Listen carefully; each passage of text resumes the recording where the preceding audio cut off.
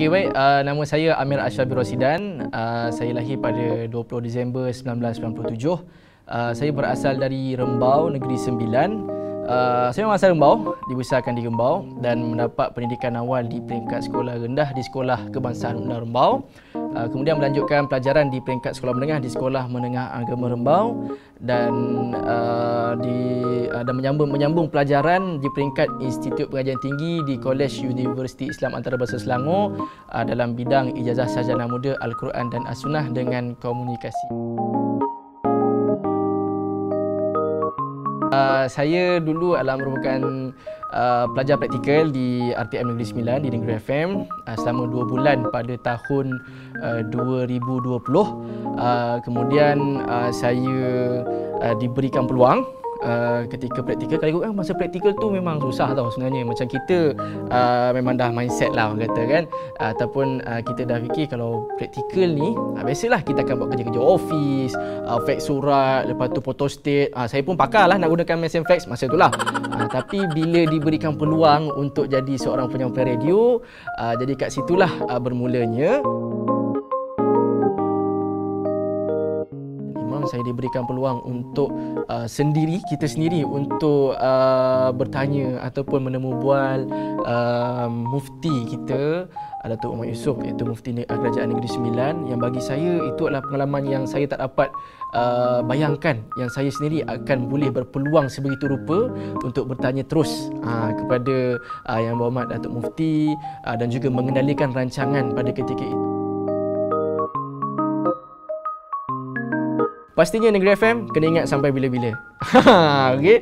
Jadi untuk uh, bagi saya perbezaan Negeri FM ni dengan uh, stesen lain sangat berbeza. Uh, banyak uh, jurang dia. Uh, jadi Negeri Sembilan ada satu uh, sebuah stesen radio yang perlu orang Negeri Sembilan sendiri berikan sokongan dan juga berikan perhatian.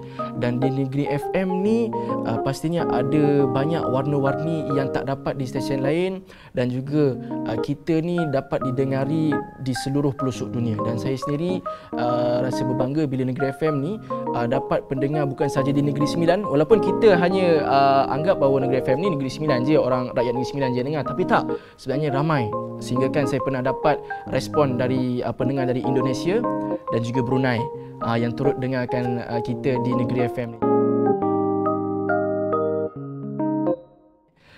Perkara yang saya suka adalah um, bila kita menjadi uh, kesenangan orang ataupun kita uh, orang senang dengan kita. Ha, okay. Maksudnya kita ni uh, orang senang dengan kita. Bila dengan Amir ni okey lah macam ni lah. Bila dengan Amir ni mudah urusan. Ha, kita tak nak jadi susahkan orang. Jadi perkara yang tidak disukai ialah menyusahkan orang.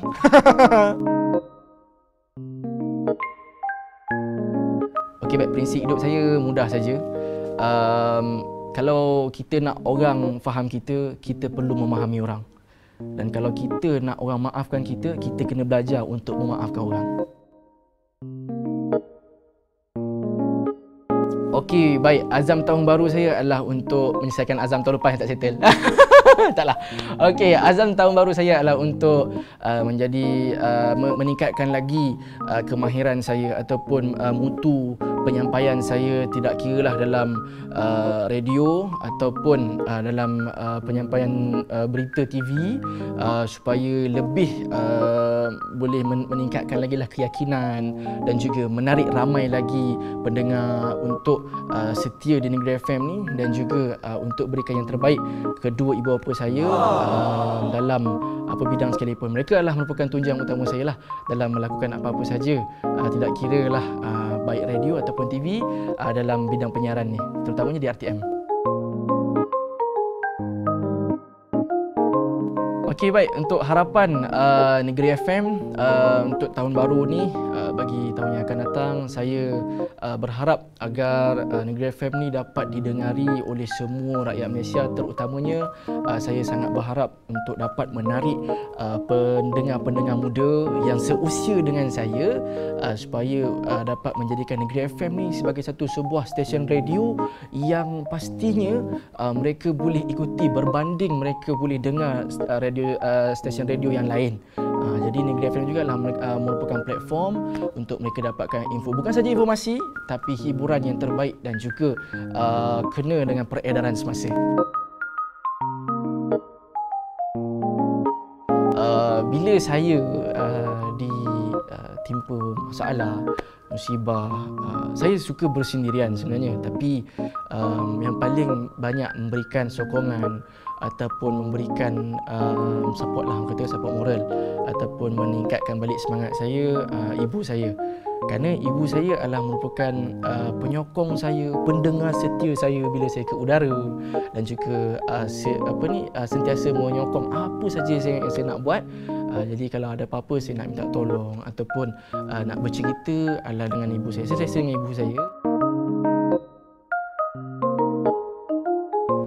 Okey baik, kalau saya tak jadi seorang penyampai radio ataupun DJ ataupun pejabat berita, uh, mungkin uh, saya akan bekerja dalam bidang uh, pendidikan asal saya ataupun bidang pelajaran saya di peringkat ijazah sarjana muda lah uh, dalam bidang Quran Sunnah.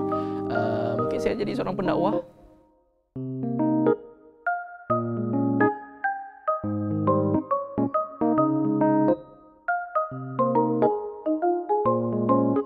Uh, Maldives, uh, Langkawi, uh, Australia.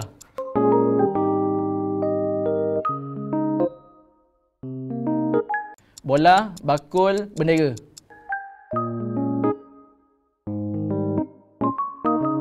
Sembilan puluh dua, sembilan puluh lima, sembilan puluh tujuh, satu tujuh, tujuh.